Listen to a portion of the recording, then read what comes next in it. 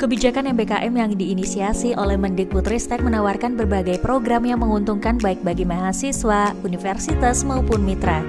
Institut Teknologi Indonesia turut aktif berpartisipasi dalam program MBKM sejak 2020, tak terkecuali program studi teknik kimia. Untuk itu, program studi teknik kimia IT bekerja sama dengan mitra baik industri, lembaga penelitian maupun universitas untuk mendukung program MBKM.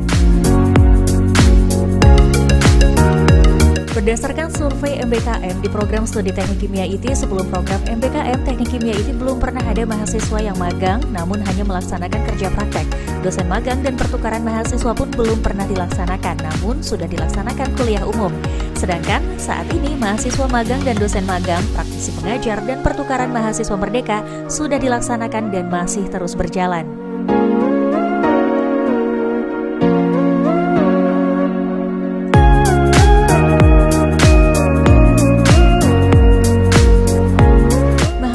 Dosen magang di industri, lembaga penelitian, dan universitas berperan sebagai problem solver di tempat magang yang selanjutnya permasalahan dan solusi yang ditemukan tersebut dapat menjadi bahan ajar di teknik kimia IT. Program praktisi mengajar dilakukan sebagai bentuk kepedulian dari mitra kepada program studi teknik kimia IT. Teknik kimia IT pun aktif melakukan kegiatan pertukaran mahasiswa merdeka di berbagai universitas.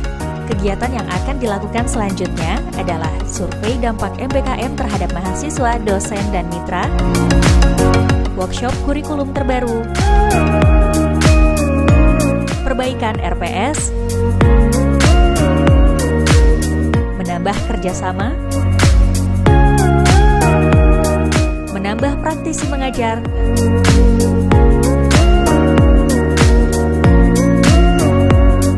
menambah jumlah mahasiswa magang dan menambah pertukaran mahasiswa merdeka.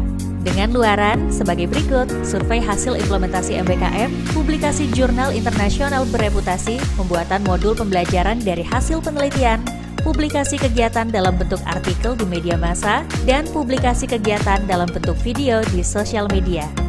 Teknik Kimia IT akan terus berpartisipasi dan meningkatkan kuantitas dan kualitas program MBKM yang dijalankan.